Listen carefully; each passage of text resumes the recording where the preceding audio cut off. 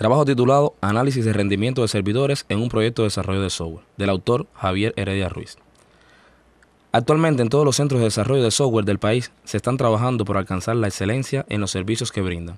La Universidad de la Ciencia de Informática no se encuentra ajena a esta tarea y ha encaminado gran parte de sus esfuerzos en el cumplimiento de la misma. Uno de los aspectos más importantes a tener en cuenta cuando de calidad de servicio se está hablando es el rendimiento del sistema, el cual tiene una gran importancia para el usuario final, pues de él depende la rapidez con que se responden las peticiones que ellos realizan. Lo más importante al diseñar un modelo o mecanismo para calcular el rendimiento de un sistema es estimar el volumen de futuras transacciones. Una transacción se puede considerar como la acción donde existen dos partes hasta llegar a un acuerdo finalmente conforme.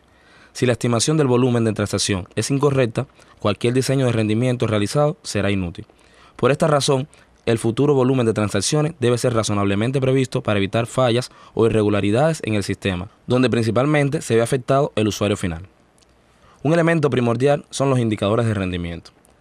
El proceso puede ser medido en transacciones por segundo, conocido como TCP, y las transacciones por minuto, conocido como TPM, y las transacciones por hora, conocido por TPMH.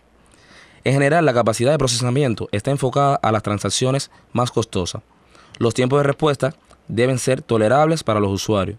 El tiempo de respuesta se define como el tiempo entre una solicitud de datos y su respuesta. Existen otros indicadores que miden el rendimiento de la aplicación y el consumo de recursos disponibles en los servidores, entre las cuales se encuentran indicadores de base de datos, indicadores de servidores web e indicadores de los servidores de aplicaciones. Un ejemplo se evidencia aquí en la tabla 1 correspondiente a los indicadores de base de datos o IDB como también se le conoce, donde va a existir una variable a medir, por supuesto la respectiva descripción de dicha variable y la herramienta a utilizar.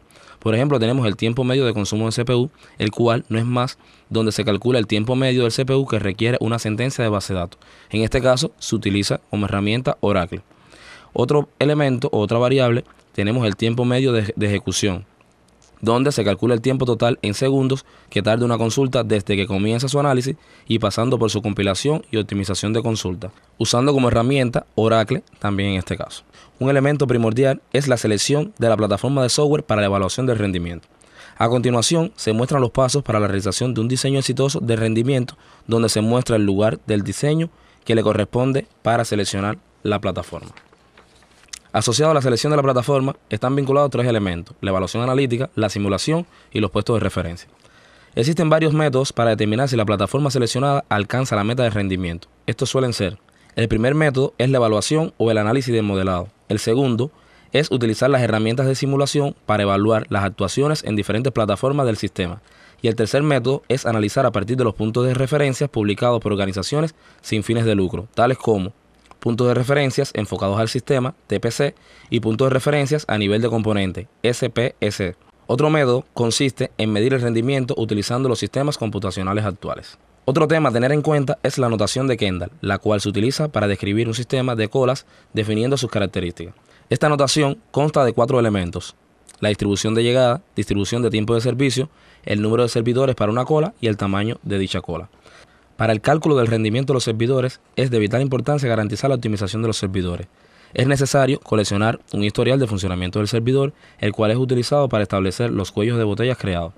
Los requerimientos del usuario entran y después de un proceso, cuántos de ellos son resueltos y a qué tiempo, determinando de esta manera el rendimiento de cada servidor. Al considerar el tiempo de espera, el rendimiento del servidor que realiza un servicio es un factor importante.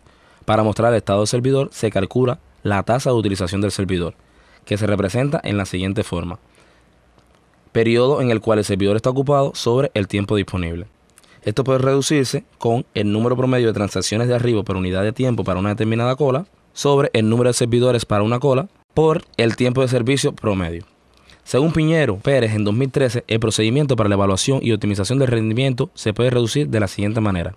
Obtener la línea base de medición, que esta puede ser medida por una herramienta de monitoreo, Luego, encontrar el cuello de botella, reducir o eliminar el cuello de botella, evaluar el rendimiento una vez eliminado o reducido el cuello de botella y tener en cuenta si es satisfactorio o no dicho rendimiento. Un elemento que sería de gran apoyo al proceso de toma de decisiones con hechos a la hora de realizar un estudio de este tipo pueden ser los análisis de sensibilidad.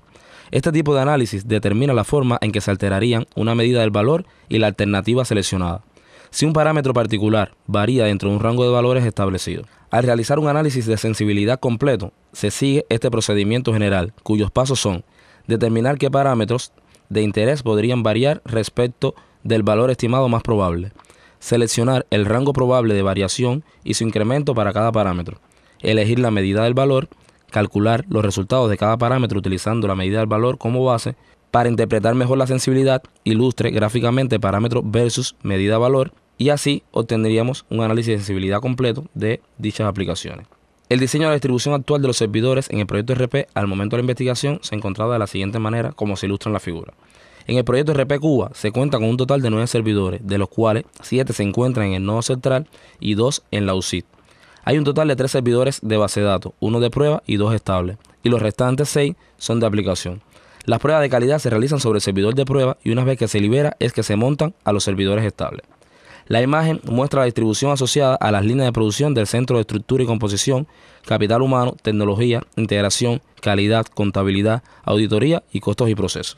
Para el cálculo de rendimiento en el proyecto RP, se seleccionó la plataforma mediante el método de puntos de referencia, mediante la prueba comparativa de TPC. De las distintas pruebas comparativas de TPC, se escogió TPC-C. La notación de Kendall que se va a utilizar es la M de 9 e infinito, lo que significa que la distribución de llegada es aleatoria, la distribución del tiempo de servicio es constante, el número de servidores para una cola es 9, que son los que están al servicio del proyecto RP, y las peticiones serán distribuidas en los mismos.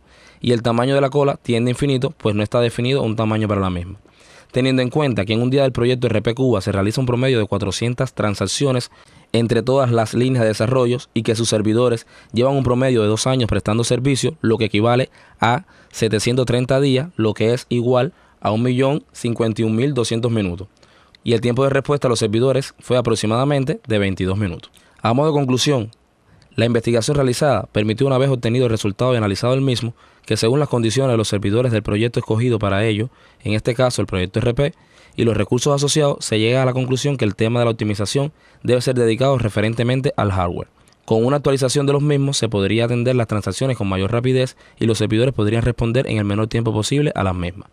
Con la aplicación de la notación de Kendall para los cálculos efectuados en cuanto al rendimiento de los servidores del proyecto RP Cuba, se pudo constatar que el tiempo de espera, aunque se ha trabajado intencionalmente los mismos tiempos, en mejora de calidad de los servicios que se brindan y la rapidez del sistema, no se ha alcanzado en su totalidad mejorar este tema, el cual es bastante complicado, sobre todo porque se está realizando un sistema RP en plataforma web. Finalmente, se propone optimizar el hardware de los servidores del proyecto, reemplazando sus recursos con mejores, expandiendo la capacidad de sus recursos o usando recursos adicionales.